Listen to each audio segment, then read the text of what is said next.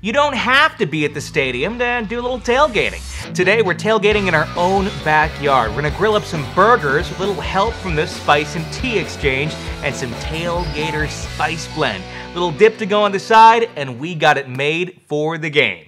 Everybody has their own way of making a burger that they think is best. I say do it however you like, just don't mess up the seasonings. That's why we got the seasoning here from the Spice and Tea Exchange. It's called Tailgater's Blend, perfect for what we're doing today, our own at-home tailgate. Now, I worked out something special for you guys. If you go to spiceandtea.com and purchase a Tailgater's Blend and use the promo code BEER112, all caps, okay? Beer112.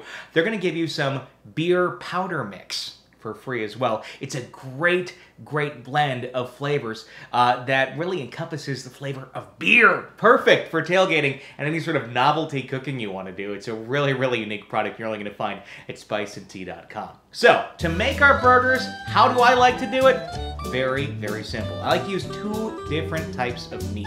Kind of gives you a little yin and yang back and forth. Today we're using some ground turkey. We're also using some ground sausage. You could of course use ground beef in place of ground turkey, but I'm trying to do a little more of the healthy thing. So what we do, got a bowl, let's get it all mixed. Just take the ground turkey, add the ground sausage, mix it all up with your hands. Don't use a fork, just make sure your hands are clean.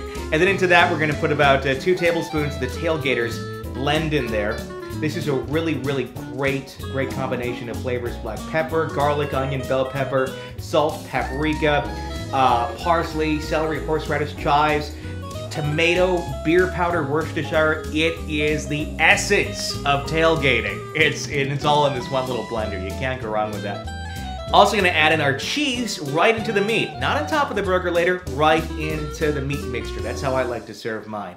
Now, of course, tailgating, you think grilling. Nothing wrong with that. And if you wanna make the burgers on the grill, completely up to you. I, however, have this little guy. Burger pan, meet my friends. Friends, meet my burger pan. This is a dedicated pan I use strictly for burgers, even on the grill. Why? In my own personal opinion, I think it lets the burgers retain a lot of the juiciness. It kind of cooks in its own juices. You're not just dripping into the grates.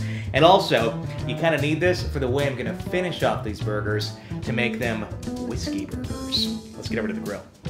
Put the pan on the grill or on the burner, depending on where you're at. Put it at a nice medium heat. Add in a little bit of olive oil. Let that heat up a bit.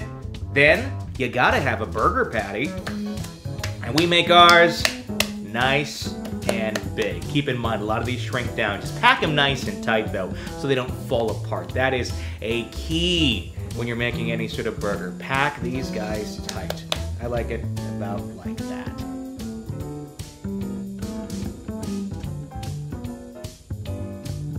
While the burger is cooking, you gotta have your dip if you're tailgating, right? We got some coastal blend here from the Spice and Tea Exchange. Great mixture of flavors. Green pepper, onion, garlic, shallots, uh, dill, lemon, it's all in there. Great dip mix. And we're just gonna use about uh, eight ounces here of light sour cream. You can also use uh, cream cheese, uh, yogurt, it's completely up to you. Put about a tablespoon or so of the uh, coastal blend in there, just like that. Just mix it up.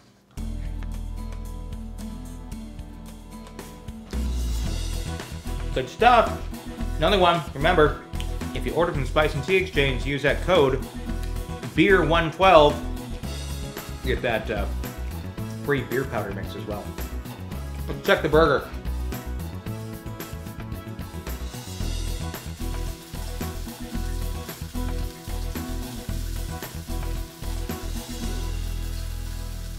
All right, the finishing touch to our burger is what really makes it the whiskey burger. So, little cup here, a little bit of whiskey. Salute. Take your pan off the burner. This is key if you value your eyebrows and hair. And then just add the whiskey right on top of the burger, just like that. Uh-huh.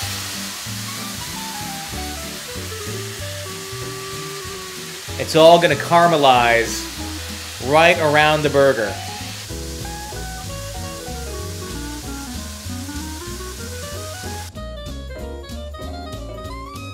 Now, that, my friends, is a burger. You can add any sort of toppings you want on here, but uh, with the seasonings that we have from the Spice and Tea Exchange, the cheese in there, the two meats, it's super juicy and the whiskey finish. I'm gonna eat it naked, just like this. Let's dig in.